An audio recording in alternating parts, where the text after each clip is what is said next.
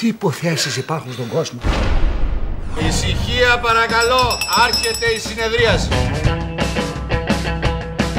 Ονομάζεστε. Αντώνης Δελιπετρής. Προχώρα αναρχόμουτρο. Αναρχόμουτρο εγώ. Τι σχέση έχετε με τον Μπάμπη; Πατέρας μου, κουμπάρος μου, πολύ στενή σχέση. Αου. Ησυχία.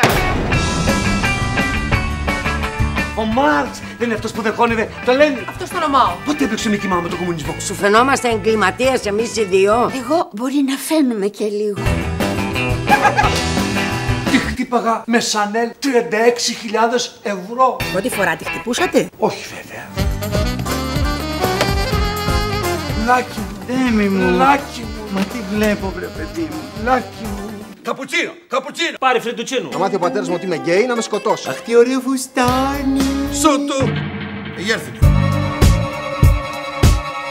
Το είπα στον Παν. Έχει γίνει λάθος. Με πέθανε το κότσι. Ποιος ήταν ο πελάτη. Υπάρχει και τα πόρετο. Ποιο πόλο, ε. Και έχετε το μουνι, το, το, το, Πλάτωνος. Για όνομα του Θεού. Ακουμπούσε την εχλαία στο πισινό του προστινού του. Λάθος. Τσουτσούνα, μπειρέτα δεν υπάρχει. Γράψτε να σου πει. Γραμμένα τα. Δεν ξέρεις ποιον να πιστέψεις. Σφυρίζει και κουνάει το σημαίακι. Σταύρωσέ με. Παλινδρομή το της της. Προσέπιασε στα πράσα.